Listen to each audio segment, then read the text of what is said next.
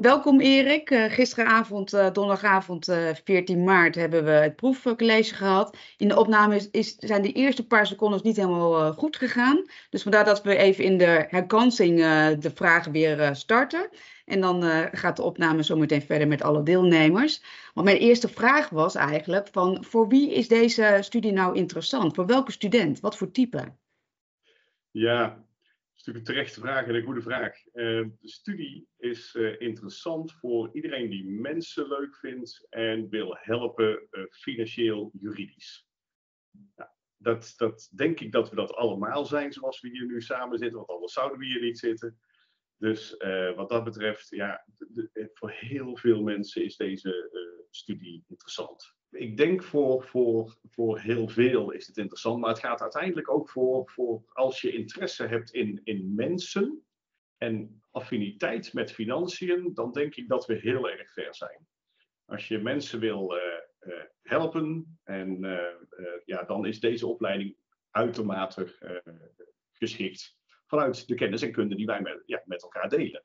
Dus dat, dat zou denk ik mijn, mijn eerste reactie zijn. Je noemt financiën. Ik zou het willen uitbreiden met economische omstandigheden. Ik zou het willen uitbreiden met juridisch. Uh, dat is feitelijk de basis waar we nou ja, met z'n allen beginnen. Uh, hoe, is, uh, hoe is het huwelijk? Hoe zijn de huwelijkse voorwaarden? Wat is de samenlevingsovereenkomst? Wat heb je afgesproken? Daar begint eigenlijk alles. daar zou ook de ellende kunnen beginnen.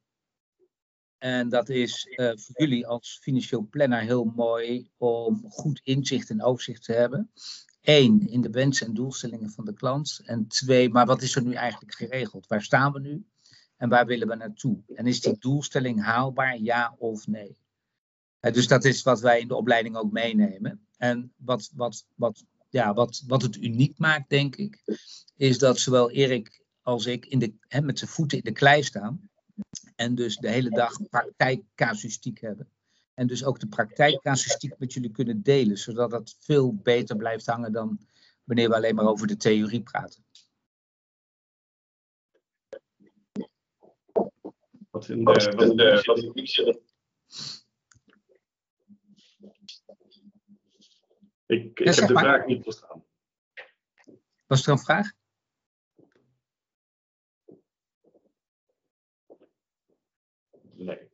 Nee, volgens mij was er geen vraag.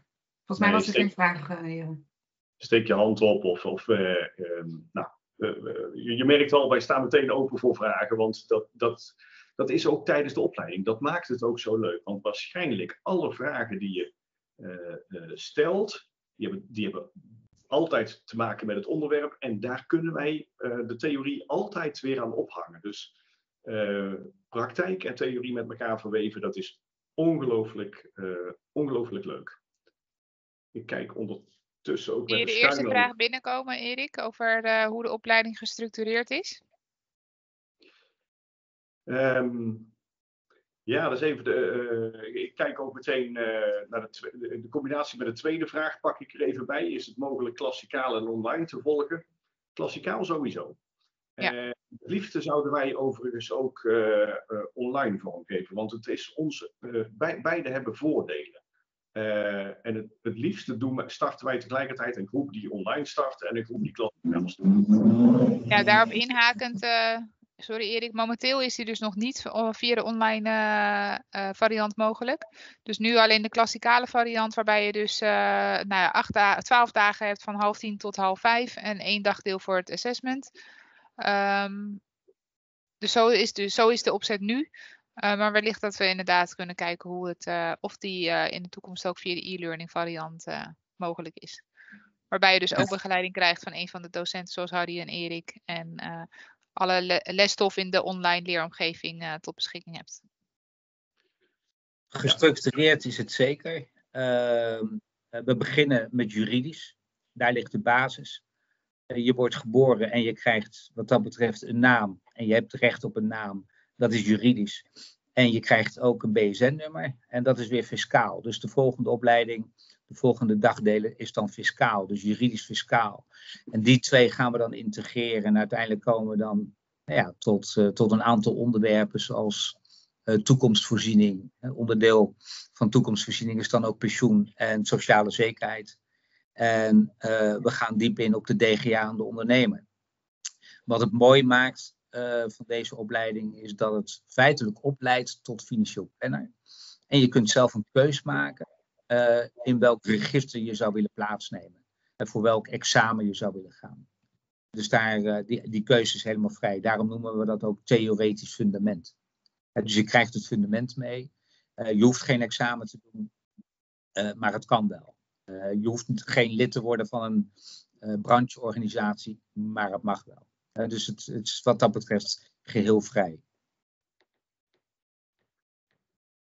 Als dat antwoord is op je vraag, dan, dan hoor ik dat graag. Als je nog wat naders wil weten, dan vernemen we dat ook graag. Register, wat bedoel je met register? Je kunt dus als financieel planner lid worden van een register. Uh, bijvoorbeeld het register financieel planners, dat is opgezet samen met uh, NIBE SFV. Of je kunt lid worden van uh, de FFP, dat is een register financieel, Federatie Financieel Planners slash Certified Financial Planners. Um, en dat zijn zo, ja, als je zegt, ja, ik vind het wel belangrijk om in een register te staan, dat ik vindbaar ben, hè, dus ook voor de consument vindbaar, dan is dat uiteraard mogelijk. En dan moet je wel weer voldoen daarna aan permanente educatie om te zorgen dat, nou ja, hetgeen wat je geleerd hebt ook daadwerkelijk ook wel kunt toepassen in de praktijk. Dus dat zijn de registers. En is er ook nog een register bij DSI? Want ik meen nou dat dat er ook ooit was, of misschien nog niet. Ja, ja, die is, die is eigenlijk nog steeds. Uh, maar dan praten we over, uh, een, niet over de financieel planners die lid of geregistreerd zijn bij DSI, maar bijvoorbeeld wel beleggingsadviseurs of uh, certified compliance officer. dan kun je je laten certificeren bij, bij DSI. Oké, okay, dus niet voor financial planners? Niet voor financial planners, nee. Niet dat ik weet althans.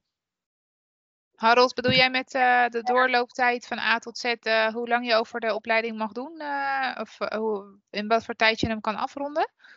Ja, ik begreep net dat het zeg maar twaalf bijeenkomsten is en één dagdeel ja. voor het assessment.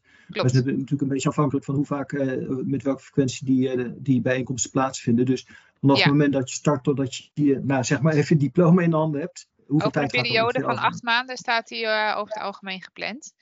Um, en het is natuurlijk een beetje afhankelijk van het startmoment wanneer je gaat starten. Als je in april zit, dan zitten de maanden juli en augustus ertussen waarbij er uit mijn hoofd geen lessen worden gegeven. Dus dan heb je een, een tussentijd van twee maanden. Maar als je in september of oktober start, dan uh, ligt het, uh, de lessen wat meer op elkaar. Um, dus voor nu staat hij twee keer in het jaar gepland, maar de doorlooptijd is ongeveer acht maanden.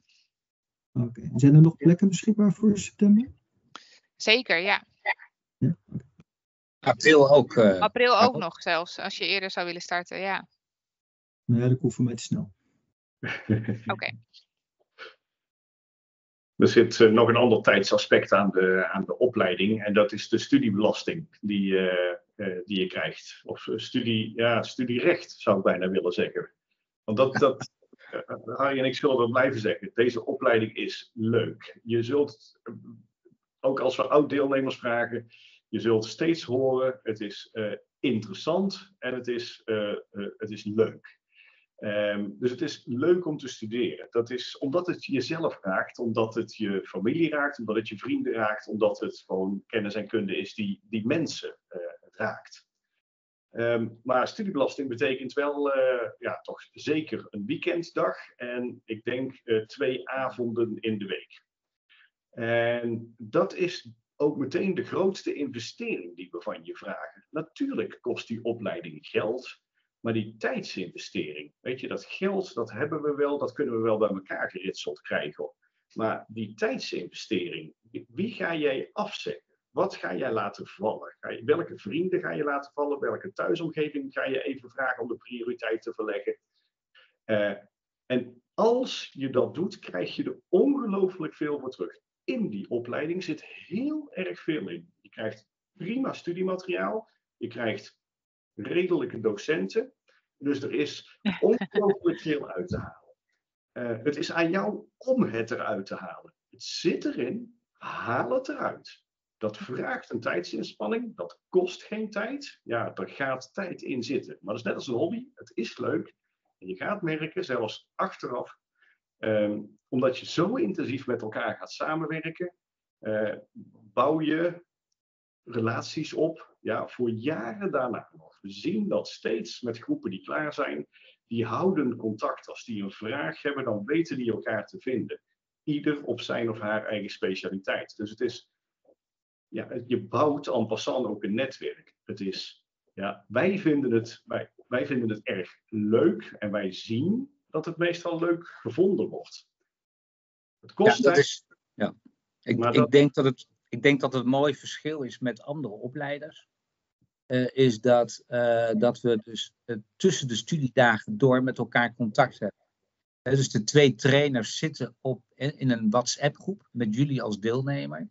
En wij stellen dus ook vragen tussendoor. Als wij vinden dat het te stil is, dan komen er allerlei vragen. Zodat je dus eigenlijk geen moment hebt dat je achterover kan, kan leunen en, en wachten tot er iets gaat komen. En dus we houden jullie wat dat betreft heel actief, waardoor je het leereffect enorm wordt. En dus met elkaar ook gaat samenwerken. En we zullen dus ook nooit, nooit aan jullie het antwoord geven, maar we geven jullie wel uh, zeg maar inzicht waar je dingen kunt vinden en hoe je het kunt vinden, zodat je, zodat je kunt leren. Want anders gaat de vergeetcurve toetreden en daar, daar hebben we niks aan. Het is geen opleiding waar je dingen uit je hoofd gaat leren, maar het is vooral een opleiding om toe te passen, zodat je het dus nooit meer gaat vergeten. Ik zie een vraag van Chris. Is de studie WFT vergelijkbaar met deze studie? Uh, uh, uh, ja, vergelijkbaar is eigenlijk altijd alles, maar het, een heel groot verschil is dat je hier in ieder geval ook echt wetteksten zult gaan gebruiken je gaat, en aan de hand van de wetteksten zul je het zelf moeten kunnen interpreteren. En dat is heel anders dan WFT, waar het vooral het toepassen van, van geleerde regeltjes is. Echt een, veel grotere diepgang. en waardoor je ook veel meer overview zult gaan krijgen. Dat is echt, daar zit een groot verschil. En we gaan nog wat verder, hè, Erik. Want het zijn niet alleen de wetteksten. We gaan ook achter die wettekst gaan we kijken wat is nou de geest van de wet. Wat is de bedoeling van de wet? Zodat je dus ook veel meer leert. Want soms lijkt een wet uh, helemaal niet, niet nou ja, het, eigenlijk niet zinvol. Of lijkt in te druisen tegen van alles en nog wat. En dan kunnen we ook laten zien waar het vandaan komt. Of dat we met jullie ook uh, rechtspraak gaan bespreken. Van oké, maar dit is dit is nu deze rechtspraak, wat vind je hiervan? En dan kunnen we dat allemaal wel weer terugvinden vanuit de wet. Dus het is, het is heel speels. En vooral niet alleen de theorie, vooral ook de praktijk en de, ja, de, de combinatie met de praktijk en de theorie. Dan zie ik een vraag van Niek. Uh, welke kwalificaties hebben de trainers? Goeie vraag. Nou, Harry, uh, ja, jij hebt nog wat kwalificaties, dus ik laat jou maar eerst aan het woord. Ja, nou ja, kijk, uh, je, je kunt wel even googelen op mijn naam en dan zie je wel wat ik, wat ik doe. Maar ik, ik heb een masteropleiding gedaan financiële planning. En ook in Amerika gestudeerd, ook live planning gedaan, NLP gedaan. Dus het is, weet je, uh, het, het, is, het is te veel om op te noemen, maar ik werk als financieel planner al sinds de vorige eeuw. best wel lang, dus, dus ja, en ik kom van origine uit beleggingsvak. Nou, daar heb ik ook allerlei nou ja, um, certificaten en diploma's behaald. Dus ja, het, kort en krachtig is dat een beetje wie ik ben en wat ik doe. Um, ja, ach, een, combinatie van, eh, van uh, theorie en praktijk, denk ik. ik. Weet je, ik publiceer nog wel eens, ook wel eens wat wetenschappelijk. Ik procedeer ook nog wel in fiscaliteit en sociale zekerheid en ook wel internationaal. Maar dat gaat te diep voor deze opleiding. Uh, maar, maar in het adviseren uh, heel breed. Dus ik denk, denk dat wij, uh, nou, laat ik maar onbescheiden zijn, Harry en ik zijn overgekwalificeerd. dat moet maar eens een keer doen. Maar dat is heel leuk. Dus je gaat ook zien het studiemateriaal wat je gaat gebruiken. Het compendium financiële planning. Dat is onder andere door, wij, wij plegen de hoofdredactie. Wij hebben er heel veel van geschreven de wettenbundel financiële dienstverlening, daar zit ik ook in de, in de redactie. Het memo financiële planning, wat tot vorig jaar werd uitgegeven, dat deed ik ook mee. Dus wij zitten, wij zijn we hebben een, mega grote vragendatabank, de grootste van alle opleiders, om te oefenen voor ja, multiple choice vragen, wat toch ook de examens zijn waar je ze ook gaat doen.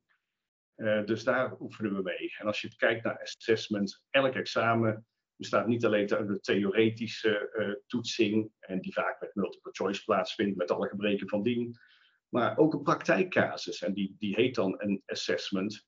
Dat is gewoon een casus die we, ja, dat had jouw situatie kunnen zijn of mijn situatie.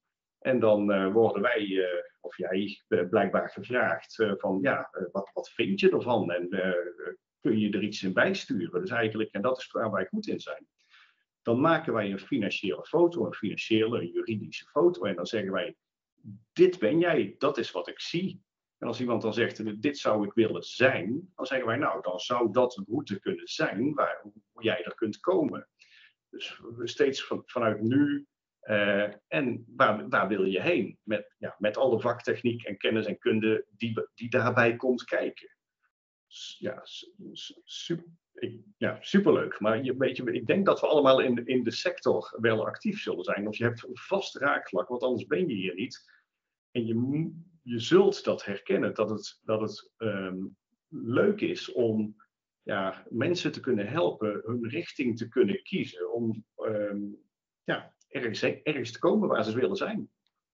Het is trouwens wel mooi, denk ik, Erik, om aan te geven dat het compendium niet een, een, een, een, een document is, een pdf met, uh, met, met tekst, maar het is een digitaal document het uh, eerste document in Nederland waarbij je gewoon heel snel kunt doorklikken, doorlinken naar wetgeving. Dus het is volledig digitaal en op de dag van vandaag bij.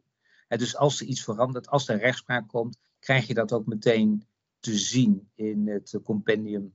Wat je dan desnoods via je telefoon raadpleegt of wat dan ook. Ik kreeg nog wel even een vraag tussendoor over de master. Er wordt geen master meer gegeven eigenlijk. En dat heeft te maken met de kosten, de accreditatie. Maar Erik en ik hebben wel eens het idee gehad om de master weer gewoon in de markt te zetten. Dus het zou best eens kunnen zijn dat we dat samen met Remke, dat we daar eens over na gaan denken. Uh, als vervolg voor, uh, voor de financiële planning. En ik kreeg ook nog een vraag, zag ik snel tussendoor. Uh, waarom ben ik overgestapt vanuit het beleggingsvak naar financiële planning? Ik miste gewoon mijn eindklant. Want ik had veel contact met Zwitserland over de assetallocatie. En of we wel of niet in, in, in, in Zeeland een financiering zouden verstrekken met betrekking tot eigen woning. Nou, op een gegeven moment ben je dat wel even zat. En ik, ja, ik krijg heel veel energie als ik mijn klant kan helpen. En als mijn klant dan zegt, joh Harry, wat jij voor ons doet, uh, beloof het ons, als wij er niet meer zijn, wil je dat ook voor onze kinderen doen. En dan denk ik, ja, dit is, dit is waarom ik opsta s ochtends. En dit is waar, waar mijn why ligt, om mensen te kunnen helpen, inzicht te kunnen geven in, in, in van alles en nog wat. En dat, is, en dat is dus, als we het hebben over stoppen met werken of pensioen, ik zal dat nooit doen. Dit is gewoon mijn lust en mijn leven. Ik blijf gewoon doorgaan. Totdat iemand zegt, joh, wordt het geen tijd?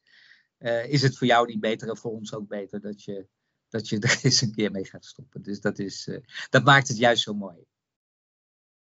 En vaardigheden zie ik ook nog, die, die zitten absoluut in de opleiding verweven. En we hebben ook nog twee vaardigheidsdagen van Monique Londema. Maar daarnaast zorgen we wel dat jullie vaardig worden in nou, hoe, je, hoe je tot een bepaalde oplossing komt. En dat betekent dus dat we vanaf dag één al met elkaar gaan samenwerken in het oplossen van casuïstiek. Omdat wij met, met, met, met onze beperkte lens naar een casus kijken. En hoe mooi is het als we met meerdere lenzen naar, naar, naar eenzelfde kaas gaan kijken. En dus van elkaar gaan leren en dus verschillende antwoorden gaan zien. En dat is wel, dat is wel super gaaf. dus dat doen we vanaf dag 1 al.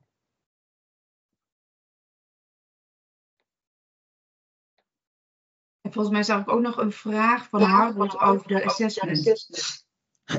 Ja, het afsluitende assessment. Ja, wat is de vraag? Nou, kun, kunnen jullie iets meer vertellen over het afsluitende assessment? Hè? Want ik begrijp dat in alle tentamens ook uh, cases uh, terugkomen. Oh, een soort assessment zo, van hetgene wat je hebt geleerd. Maar aan het eind van de opleiding is er ook nog een... Ja, er zit een casus en die is heel mooi. Dat is eigenlijk wel een casus die, die alle raakvlakken in zich heeft. Juridisch, fiscaal, pensioen, noem het allemaal op. En het mooie daarvan is, die kun je van tevoren maken, die kun je met elkaar maken, die kun je met elkaar bespreken. Dan gaan we ook nog een keer een, een terugkomdag om met elkaar ook dingen te bespreken. En uiteindelijk zul je die casus moeten gaan verdedigen. Dat verdedigen doe je eigenlijk bij ons, dus bij Erik en bij mij. Uh, waarbij we dan gaan kijken, uh, oké, maar wat nou als? En wat nou als? En wat nou als? He, dus om te kijken of je snel kunt schakelen uh, tussen de verschillende wetgeving en casuïstiek. En aan de andere kant, dat is ook een onderdeel van het assessment, ga je de casus presenteren aan een klant. En dan spelen we ineens klant. Dus enerzijds zijn we assessor de vaktechneut. Uh, meer zeg maar vakbroeders onder elkaar. Uh, waarin we dus de diepte van de diepte gaan opzoeken. En anderzijds zijn we ook wel weer klant. En dan beoordelen we jou hoe jouw communicatie naar je klant is. Of jij, of, of jij de klanttaal wel spreekt en goed ziet wat, wat, nou ja, wat die klant nodig heeft. Dat, dat is het assessment. Helder. Het wordt ook leuk ervaren over. Dat, omdat ze met z'n allen toch wel keihard werken aan die casus, met elkaar heel veel leren. En, en alle puzzelstukjes dus bij elkaar gaan komen. Want het is wel een beetje, je begint ergens. Uh, en je komt erachter, en dat is, wel, dat is wel heel vervelend in deze opleiding. Je komt erachter dat je eigenlijk heel weinig weet. Je, de, je wordt bewust van je onbekwaamheid. Dat is niet leuk. Dat weet ik. Maar aan de andere kant, aan het einde van de opleiding, weet je in ieder geval wel wat je nog niet weet en wat je wel zou kunnen leren. En uiteindelijk word je dus uh, nou ja, bewust bekwaam, en misschien zelfs onbewust bekwaam. Nou, dat is het mooiste wat je kunt hebben. Overigens denk ik wel dat we allemaal al wel uh, veel weten, maar je zult het herkennen wat Harry zegt. Bij elke opleiding weer leer je weer dingen waardoor je terugkijkend denkt van oeh, ik heb er in het verleden wel eens mee te maken gehad toen ik het nog allemaal niet precies wist. En ja, het is niet fout gegaan, maar dat is niet omdat het toen allemaal zo goed was ingericht of gestructureerd. Dus dat is het nadeel van elke opleiding. Je leert steeds weer bij en steeds weer denk je van, oh jee, hoe heb ik dat toch gedaan toen ik dit allemaal nog niet wist of kon. Uh, en, en, daarom is het ook gewoon leuk. Je, je leert, je leert uh, uh, een beetje van ons, heel veel van elkaar en met elkaar. Wij stimuleren dat.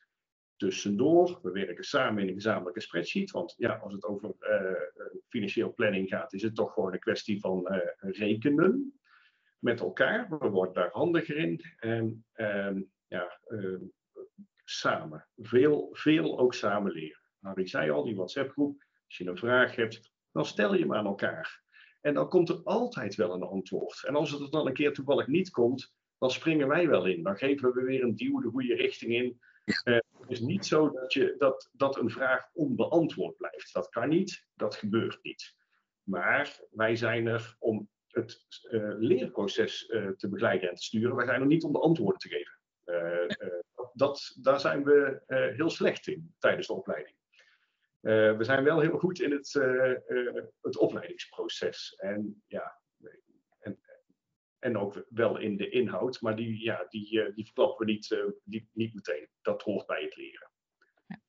Ik zag iets van carrière mogelijkheden of iets. Ja, de vraag is inderdaad, wat zijn in jullie ogen dan de carrière mogelijkheden na het volgen van deze opleidingen? Of er stage mogelijkheden zijn of dat ze de opdrachten samen of individueel moeten doen? Ja, kijk, ik, ik, um, ik zie dit eigenlijk, dit vak, wel als een vak van de toekomst. Ik merk dat er heel veel belangstelling is, ook vanuit de accountancy. Uh, ik, ik zie dat de overheid zich steeds verder terugtrekt en dat ook uh, wetgeving best complex gaat worden. Dus ja, er is zeker behoefte aan, aan een goede financieel planner. Uh, ja, er er is ook behoefte aan, aan ja, planners die net starten. En, en ik weet best wel, ik ken heel veel grote planningspraktijken die behoefte hebben aan, nou ja, jonge mensen die het vak willen gaan leren. En dus ons netwerk is gigantisch groot wat dat betreft. Als je, als je, als je te hard studeert en te enthousiast en te goed bent, dan wordt er aan je getrokken. Daar gaan wij voor zorgen. Dat is geen, geen probleem. Want wij weten dat we jou blij maken en iemand anders ook blij maken. Dat is, dan is het voor ons een hele kleine moeite. Dus als je, ja, als je gewoon uh, uit die opleiding uithaalt wat erin zit en, en uh, ongelooflijk uh, ja, meedoet en je best doet, ja, dan, dan carrière is geen probleem en stage is dan ook geen probleem. We zijn ook betrokken overigens bij Kring Financieel Planners. En daar zit een groep met financieel planners. Dat is een externe kring. Maar goed, ook daar zit veel kennis en kunde. En daar zitten ook nog best wel wat van de oud-cursisten die daarbij bij aangesloten zijn. Dus mogelijkheden te over voor uh, het, uh, het uh, uitnutten van de opgedane kennis en kunde. Ik zag dan, kort. Ja. ja. sorry Ari, ga maar. Nee, geef het, zeg maar Angela. De vraag, wat zijn de plekken om uiteindelijk dan te kunnen werken? Mijn eerste gedachte van Chris is om vooral bij accountantskantoren. Accountantskantoren, maar denk ook aan beleggingsondernemingen. daar waar waar je heel goed moet weten wat, wat de wensen en doelstellingen van de klant zijn. De financiële positie, kennis en ervaring en risicobereidheid. Dus dat is feitelijk overal. Dus, dus of we nou over accountskantoren praten met mensen met, met, met, een, bedrijf, een vermogen en noem het allemaal op. Maar ook uh, op het moment dat je vermogen hebt en je wil dat gaan beleggen, dan kun je niet zomaar gaan beleggen. Dan heb je toch echt, moet je echt wel wat onderzoek doen wie jouw klant is en wat, uh, wat hem of haar drijft dus ook daar zie ik eh, eh, veel mogelijkheden. Ook in de juridische praktijk, estate planning, zie ik ontzettend veel mogelijkheden. Uh, ook bij notariskantoren, noem het allemaal op. En dat is allemaal onderdeel van, uh, van deze opleiding. Ik zag ook iets over WFT pensioen, over de nieuwe pensioenwetgeving. Wij behandelen zowel de oude als de nieuwe wetgeving, omdat de oude wetgeving in de overgangsregime nog zit. dus we behandelen ook overgangsregime, we behandelen ook het nieuwe en het oude. Dus dat maakt zo'n opleiding natuurlijk extra interessant. Dat je nou ja, de verschillende wetgevingen naast elkaar ziet. Nou, dus qua carrièrekansen, waar we net eigenlijk allemaal de zakelijke dienstverleners in feite uh, voorbij horen komen, kun je zelfs bij de overheid terecht. Momenteel bij de Belastingdienst wordt uh, wordt veel gevraagd. Nou, en dan zijn de teams zeer vermogende particulieren bijvoorbeeld reuze interessant om te werken, omdat je dan ook weer de, de, de complexere klant als doelgroep hebt. Dus ja, je kunt hem ook vanuit overheidswegen die kennis weer gewoon gebruiken. Dus op allerlei plekken zijn, is er best veel vraag. Ik ben ervan overtuigd dat dit het vak van de toekomst is. het verdienmodel van de financieel planners, ja, dat is. Uh, kijk, de, dat varieert. De, dat hangt ongelooflijk af van waar je actief wordt, beroepsmatig actief wordt. Of je zelfstandig gevestigd financieel planner wordt, die de financieel plannen verkoopt. Die zal dan dus relatief veel klanten bij zich moeten krijgen. Maar goed, heeft dan de potentie om heel veel uh, omzet uh, te maken. Maar moet ook wel steeds veel klanten werven. Daar zit wel een uitdaging. Er zijn natuurlijk ook al bestaande organisaties die planningen maken, financieel planningsorganisaties. Of organisaties waar dat een bijproduct is, effecten, of de beleggingsinstellingen, de banken, de pensioenfondsen. Um, dus ja, dan, dan wordt het veelal loondienst. Dat, dat is anders. Dus je kunt het als zelfstandige inzetten, je kunt het als uh, loondienst inzetten. Je kunt het als vrijwilliger inzetten. Je kunt bij uh, momenteel ook weer allerlei belastingaangifteorganisaties, die hebben ook ondersteuning nodig. En daar zit dan geen financieel verdienmodel, maar daar, zit, daar, daar krijg je ongelooflijk veel voor terug, maar niet in financiën, maar wel heel veel waardering. Ja. Dus um, mensen met een lage beurs kun je ook helpen. Die zijn moeilijker, uh, businessmodellen staan veel moeilijker te maken. Maar dat kan wel. En je kunt bij de Consumentenbond gaan werken, bij de Vereniging Eigen Huis gaan werken. Die, die hebben een grote doelgroep. Dus er zijn echt wel, uh, ja, we hebben ook al een auteur van de Consumenten Geldgids uh, in, in de groep gehad. Dus, dus al, alles wat te maken heeft met mensen en financiën, daar kun je terecht. En dan is het best wel heel breed. En dan is bijna de vraag, waar kun je niet terecht?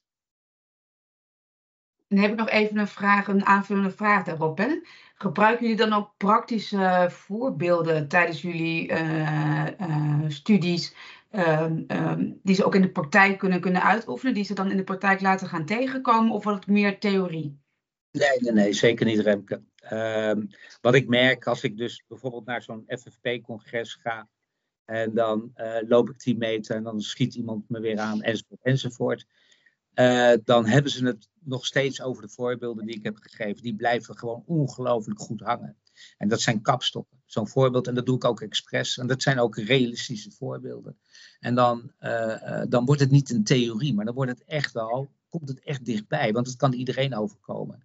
En dat is juist het mooie van financiële planning. Dat als we aan een linkerdraadje trekken, dat er rechts ook wat gebeurt. En dat maakt ons uiteindelijk tot, nou ja, tot een professional die het hele vakgebied overziet. En dat is een groot verschil met WFT. Dat zijn specialisten op onderdelen. En wij zijn generalisten, maar wel met de diepgang van een WFT. dus we, ja, dat, dat, dat maakt het denk ik juist dat wij zo hoog gekwalificeerd zijn. En dus ook veel gevraagd zijn.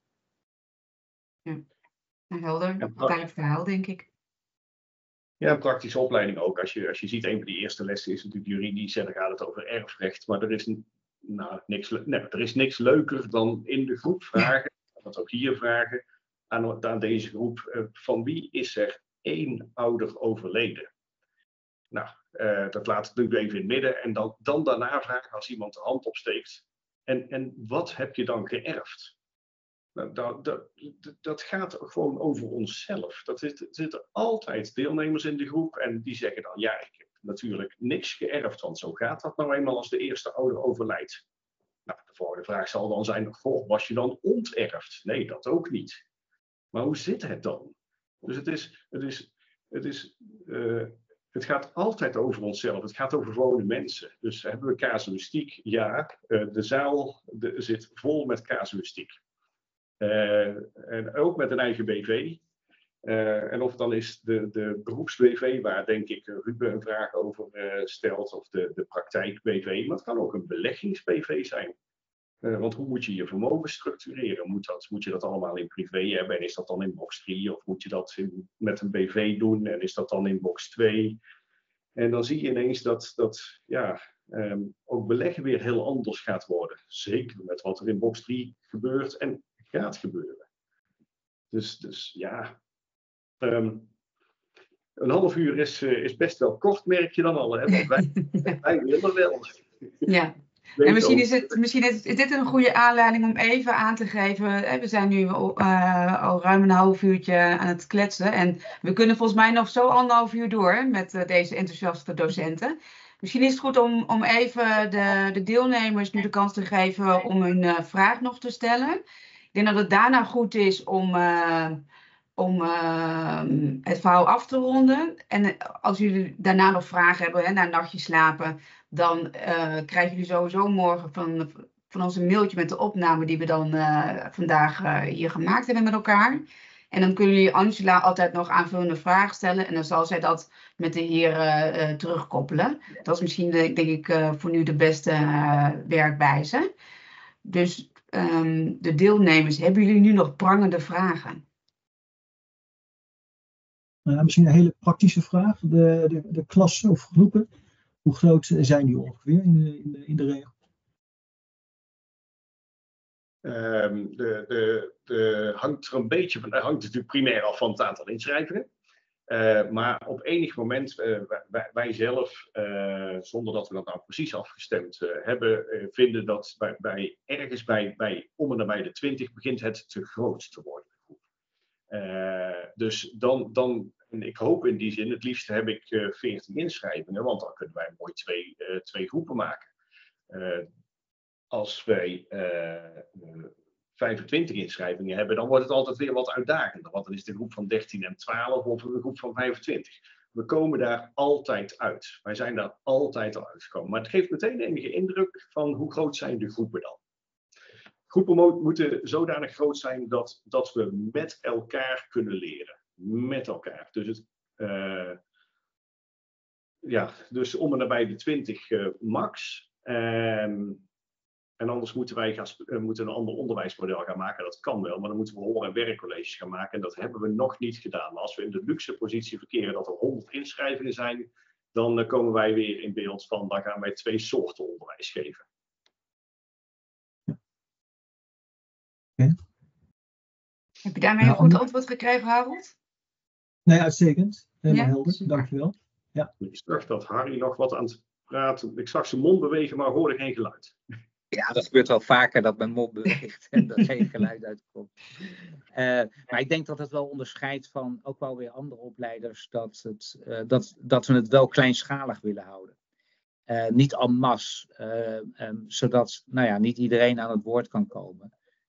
We willen echt die interactie met elkaar gaan opzoeken en met elkaar gaan werken. En dat betekent gewoon dat, dat, dat het geen collegezaal gaat worden. Collegezaal zie ik toch vaak als Ehm, een overdracht van, van een bepaalde materie. En dat kun je hooguit in 20 of 30 minuten doen, maar niet een hele dag.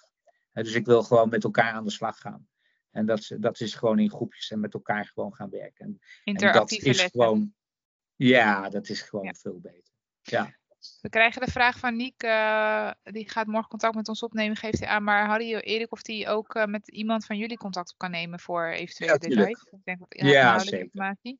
Misschien, uh, we, doen natuurlijk ook persoonlijke adviesgesprekken bij, uh, bij NIBSVV. Dus wellicht dat we voor degenen die daar behoefte aan hebben, wat, iets kunnen inplannen. Dat ik met Harry of met Erik um, een gesprek aanga voor de praktische en inhoudelijke informatie.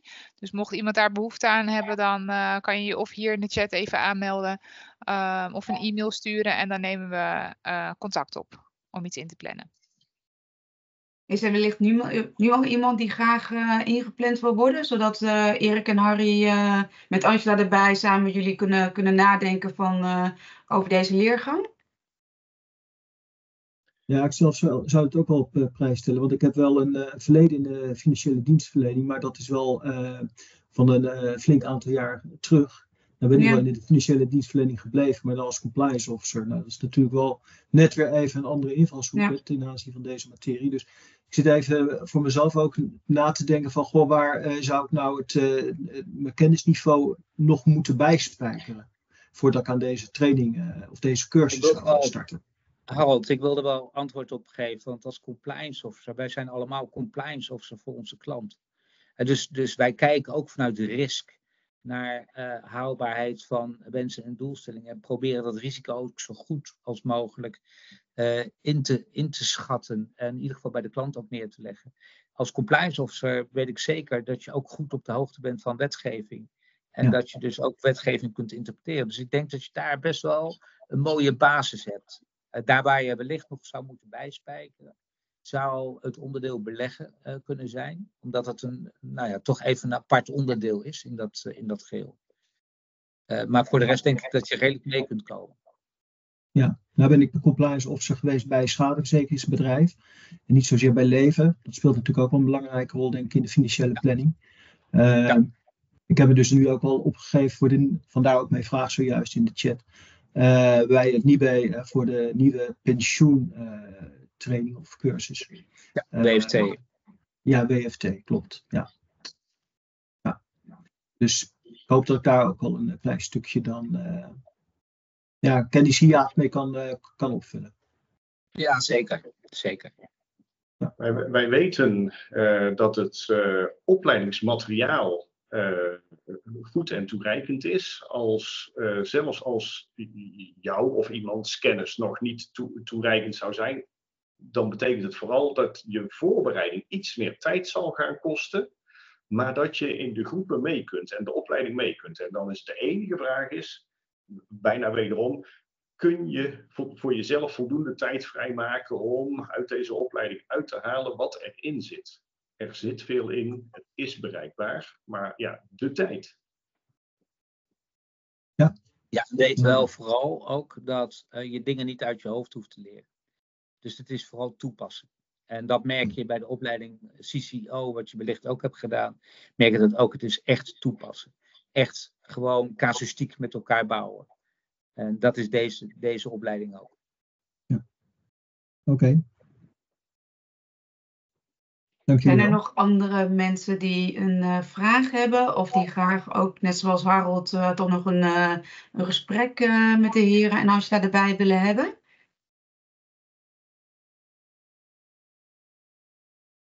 Nou, blijf vooralsnog even stil. Dus, kan natuurlijk uh, altijd nog, hè, als je daarom. na deze is natuurlijk veel informatie wat is verteld. Dus even laten landen. Mocht je hier nadenken van oké, ik wil toch nog. Uh, ik heb nog inhoudelijke vragen of ik heb vragen over de praktische zaken. Dan nou ja, kunnen, kunnen jullie mailen, whatsappen, bellen. En dan helpen jullie natuurlijk graag verder. Sowieso krijgen jullie morgen de e-mail vanuit uh, Angela met de opname, die op uh, YouTube gezet is dan. Dus dan kunnen jullie met alle rust kunnen jullie dingen nog nalezen. En zoals Angela zegt, uh, nou, we hebben diverse communicatiekanalen. Hoe jullie het niet bij SWV kunnen bereiken. En ook de heer Erik en Harry. En dan denk ik dat wij jullie hier bij deze van harte bedanken voor jullie aandacht. En goede vragen en goede interactie. En uh, nou, Erik en Harry, jullie bedankt voor, uh, voor het uh, meenemen in deze wereld. We doen het graag. Goed zo, fijn. Ja, Ik zie jullie snel weer. En iedereen bedankt verder. Dankjewel. Bedankt allemaal, een hele fijne avond. Fijne avond allemaal. Dankjewel. Dankjewel. Dag. Dag.